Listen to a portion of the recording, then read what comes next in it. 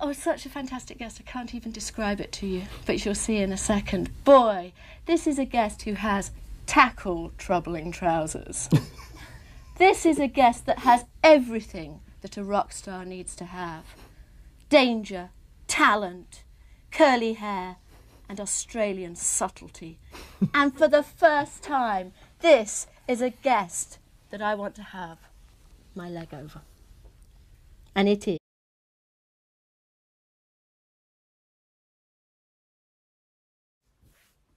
Good afternoon. Hope you're well. Honestly, did you see it? How pathetic can one man get? Brian, you think everybody's daft, right? You've got this guy that was given Wiz that Wiz Solution knows and was making him the Wiz Solution socks and all that, and he thought his thing was going to kick off. And now you're in cahoots with him and you've got fucking the biggest load of junk. That kind of stuff makes me sick. Tack. And you're just trying to, you're kidding on, oh, if you want to buy it off the guy, I'm just doing all the goodness of my own heart. Are you fuck? You're saying that outright so that the fucking social don't clock onto you. And you and the guy will be working out a wee cash in hand percentage. You think everybody's doolally, Brian? But the only person you're conning, right? The only people you're conning is your sad, mentally ill fans who will probably go on and buy a lighter for how much? Four quid, five quid? Much you selling the lighter for? Pathetic. You make me sick.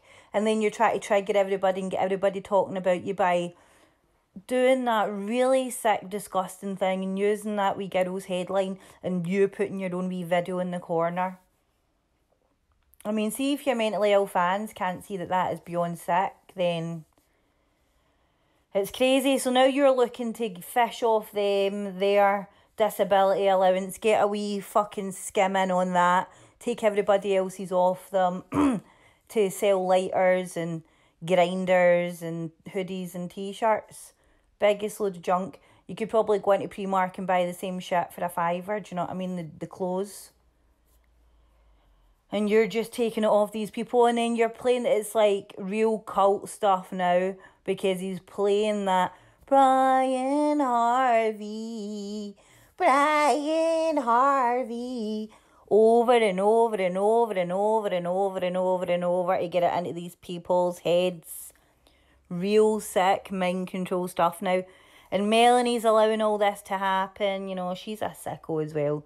Yous make me fucking ill. And see if anybody can't just see this is just a daft money making scam. There's never any evidence. He doesn't give a fuck about you. He's come he comes on and he's always 20 minutes in before he even says anything. He's just going on about testing. And then he's going, I'm going down to Parliament with a six six cameras.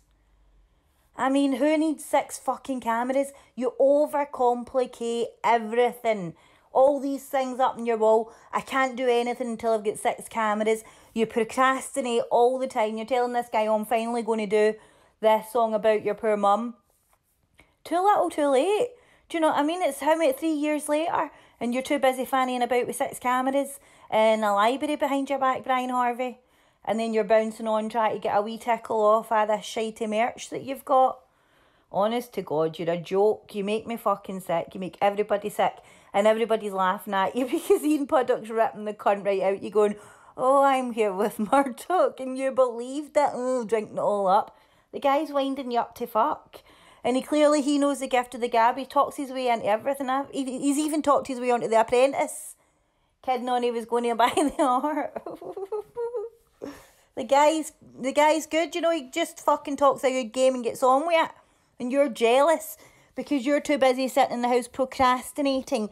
And now you're encouraging the youth to be doing I know Steve it's terrible. Now you're encouraging the youth to do the exact same by getting them oh take weed or all these mentally ill people smoke weed be just like me sit about doing fuck all all day talking shit getting money in off uh, puppies and you're probably selling a bit of weed on the side who knows? Maybe this is secret signs waving about your roll them stoned you absolute clown so yeah, Brian, just you keep coming on. You're just another Kips Clips. Do you know what I mean? Talking a load of shit. There's no evidence. You know you're going to Boris Johnson. He's not going to give a flying fanny about you. as Justice for Ian Puddick says. You know what I mean? It's just deplorable what you're getting up to. But there's loads of people on your case now, and all your stupid wee supporters and that put up with all the most disgusting stuff, they'll all be getting called out as well. Because uh, on the internet, you know, other people don't want to see this shit and don't be giving it or don't watch. Well, we don't want to be seeing mentally ill people getting conned out of their disability living allowance to be buying your lighters and hoodies because you've brainwashed them over and over and over again with Brian Harvey. Fucking scum. Anyway, to all the lovely people out there, have a great day. I hope it's brilliant. I think we're going to get a thunderstorm. It's well, we've had the thunder, but not the storm as yet. But anyway, have a good one. Thanks for listening.